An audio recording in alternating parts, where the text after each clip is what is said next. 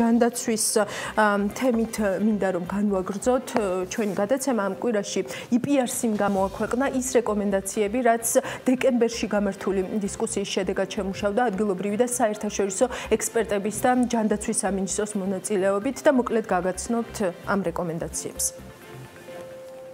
ნიშნულოვანია აქტიური კომუნიკაცია სამედიცინო დარგის წარმომადგენლებთან, ჯანდაცვის ადგილობრივ და საერთაშორისო ექსპერტებთან. დეტალურად განისაზღვროს იმ სამედიცინო მომსახურების მოცულობა, რომელსაც სრულად დააფინანსებს სახელმწიფო და რომელიც დაბალანსებული იქნება რეალურ შესაძლებლობებთან. უმნიშვნელოვანესია პირველადი ჯანდაცვის სისტემის განვითარება. აუცილებელია სამედიცინო მომსახურების ხარისხის შეფასება და მტკიცებულებებზე დაფუძნებული პრაქტიკის ხელშეწყობა. ჯანდაცვის სისტემა არ უნდა იყოს საარჩევნო ციკლზე დამოკიდებული. დეკემბერში გამართულ დისკუსიას, რომელზეც ეს რეკომენდაციები შემუშავდა, ასეთი საკმაოდ საინტერესო სახელი ჰქონდა ჯანდაცვის რეფორმა, სწორი თუ მცდარი ნაბიჯები. დისკუსიის ერთ-ერთი პანელისტი, საერთაშორისო ექსპერტი ანდრია ურუშაძეც იყო. ამ რეკომენდაციებს შევაჯამებთ დღეს საქმიანი დილის ანალიტიკაში და ვეცდებით კიდევ ერთხელ გამოვკვეთოთ მთავარი სისტემური გამოწვევები, რასაც რიგ შემთხვევებში შეიძლება სწორედ პოლიტიკური ნება სჭირდება მათ გადაჭრა. საერთაშორისო ექსპერტი ანდრია ურუშაძე არის ჩვენთან ერთად პირდაპირ ეთერში. მოგესალმებით ბატონო ანდრია და ძალიან დიდი მადლობა თქვენი დროისთვის. როგორც უკვე ვთქვი ბატონო ანდრია, საკმაოდ საინტერესო სათაური ჰქონდა თავად დისკუსიას და მოდი ეს ვაქციოთ სწორედ ჩვენი საუბრის პირველ ესე ვთქვათ გამხსნელ შეკითხვად ჯანდაცვის რეფორმა. სწორი თუ მცდარი ნაბიჯები, როგორი არის თქვენი შეფასება უკვე დღეს გადადგმულ ნაბიჯებთან მიმართებით გისმენთ?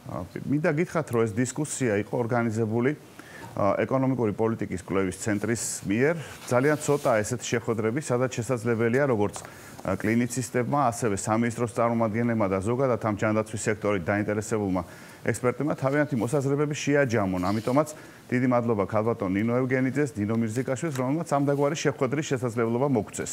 თავად ეს დისკუსია იყო გამოძახილი თვითონ ჯანდაცვის სამინისტროს ინიციატივისა.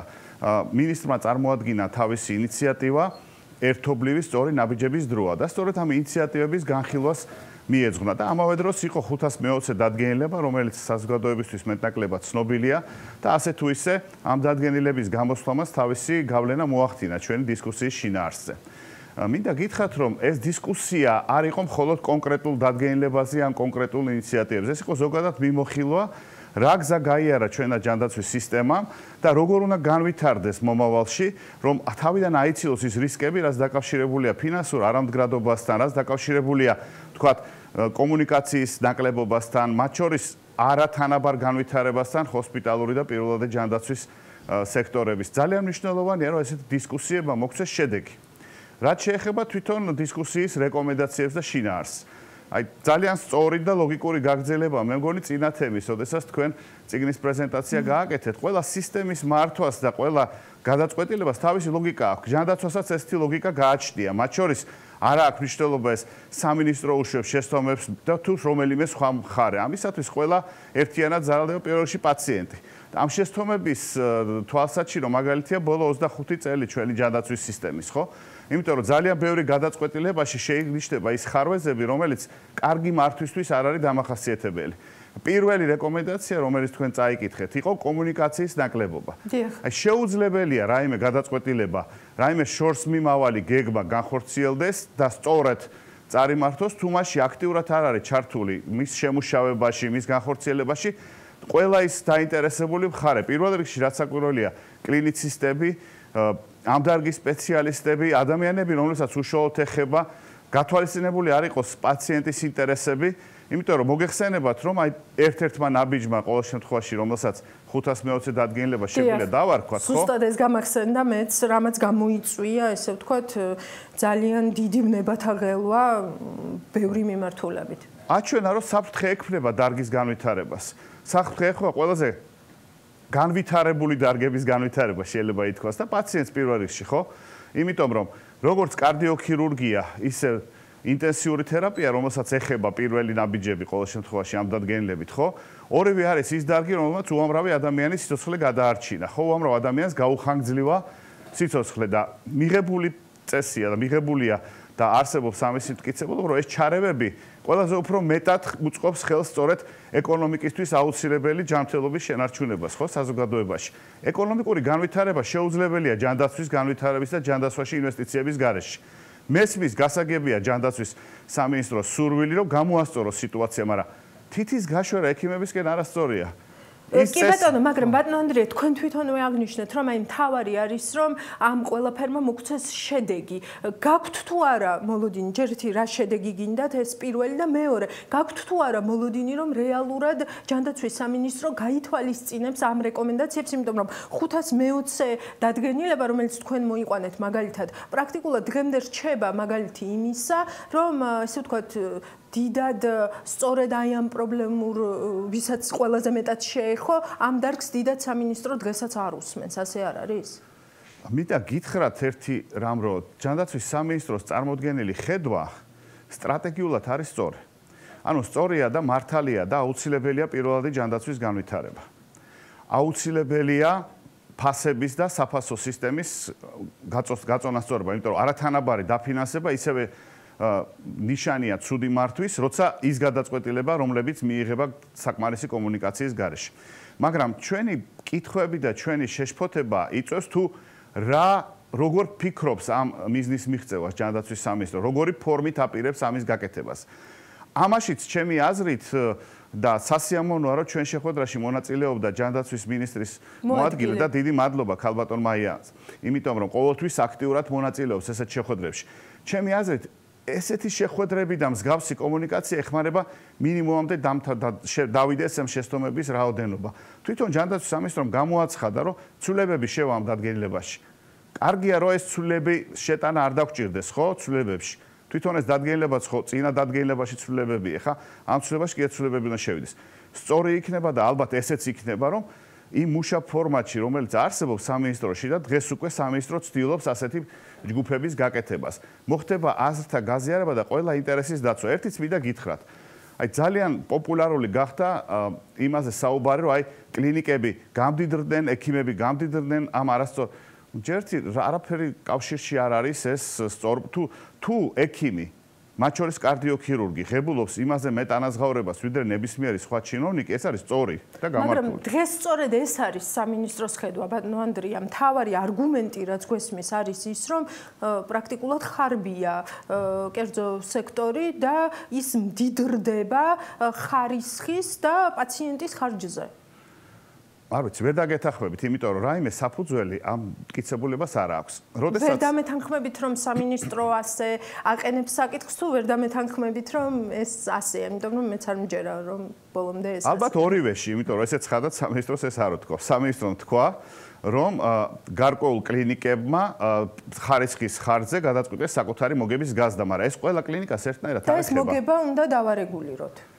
ხა მოგების დარეგულირება ყველაზე არასწორი ტერმინია ჩემი აზრით ზოგადად. როცა სამინისტრო ამას ფიქრობს, ზოგადად პრობლემა დგას, რამდენად კარგად წარმოუდგენია საკუთარი როლი და საკუთარი მნიშვნელობა ამ სისტემაში.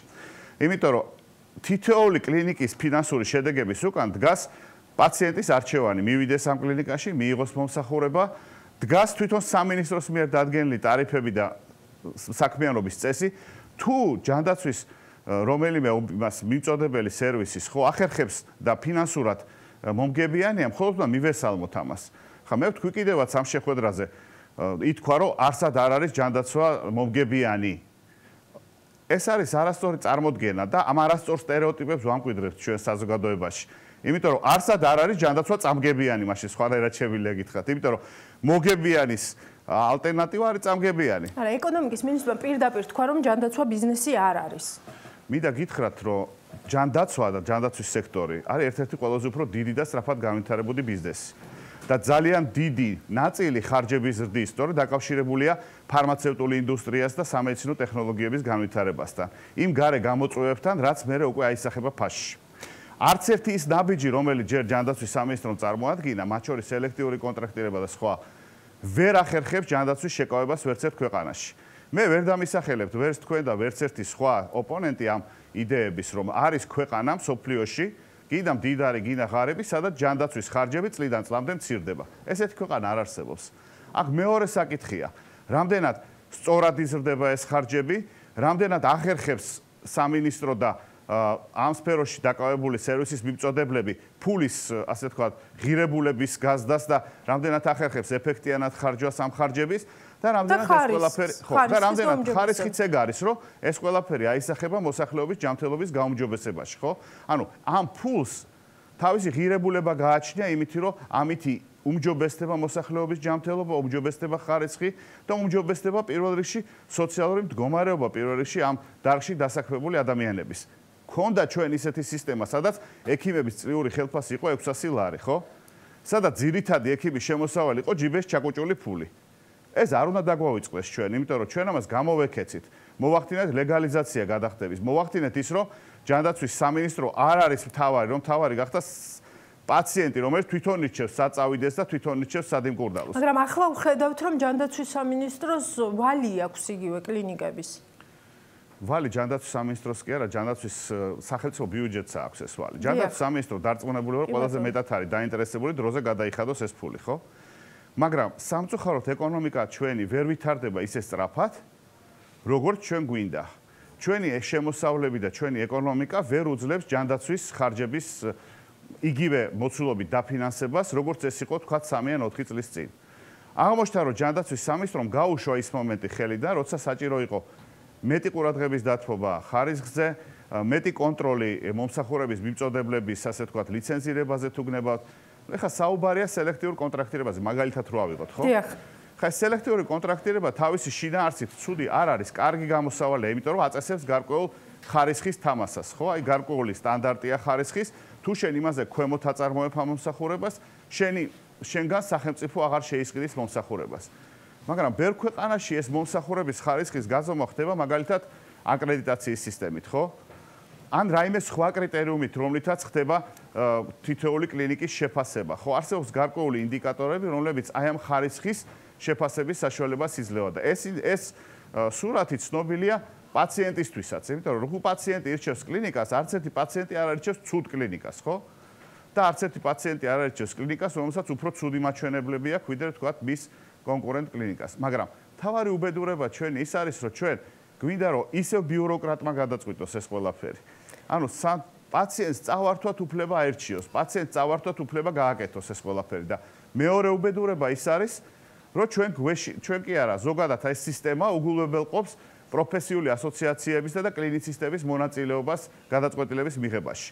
იმის გამო რომ ვიღაცას ეშინია რომ ვიღაცის მოგება არ გაიზარდოს, არ შეიძლება უარი უთხრათ არც ანესთეზიოლოგთა ასოციაცია, რეანიმატორთა ასოციაციას, არც ყველა იმ პროფესიულ ასოციაციას, რომელსაც დღემდე მოიტანა ეს დარგი. კი ბატონო, და ამასთან ერთად წინა საარჩევნოთ პოლიტიკური დივიდენდის დაწერისთვისაც ხშირად იყენებს, ესეც იყო იმ რეკომენდაციებში, რომ არ უნდა იყოს ეს ხარჯები გამოყენებული რაღაც წინა საარჩევნო მიზნებისთვის და არ უნდა ხდებოდეს ყოველ წინა საარჩევნო ციკლში, ესე ვთქვათ, ამ ხარჯების გაზრდა და გაბერვა. არა მარტო წინა საარჩევნოთ, ძალიანად გეთახმებთ, რომ ჯანდაცვა ვერ ითმეს თავრობიდან თავრობისკენ, ასე თავრობასთან ერთად ჩვენი სისტემა არ უნდა იცვლებოდეს.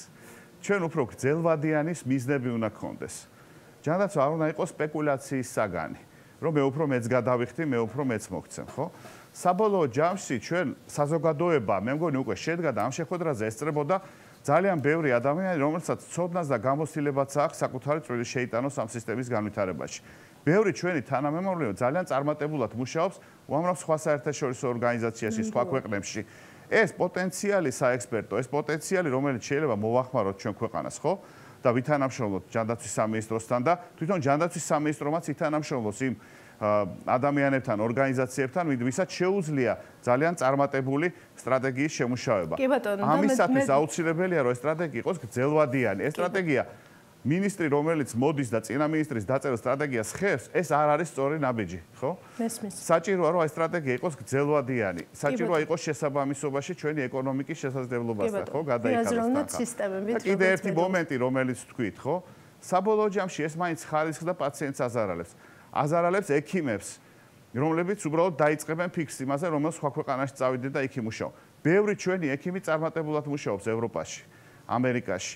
მუშაობს ჩვენ მეზობელ ქვეყნებშიც, მათ შორის, ხო? აბსოლუტურად გეთანხმებით და მე უბრალოდ ჩემი მხრიდან დავამატებ, რომ კარგი იქნება თუ კი მინისტრი ასევე ღია იქნება მედიის მიმართაც და არის რაღაც საკითხები, რაზეც მხოლოდ მას შეუძლია ყველაზე კომპეტენტურად გასცეს პასუხი განსაკუთრებით, როდესაც საქმე ჯანდაცვის პოლიტიკას ეხება. ძალიან დიდი მადლობა ბატონო ანდრია, ეს იყო ანდრია ურუშაძე, ჯანდაცვის საერთაშორისო ექსპერტი და ჩვენ საუბრობდით იმ რეკომენდაციებზე, რომლებიც მათ შორის მისი ჩართულობითაც მოამზადა IPRC.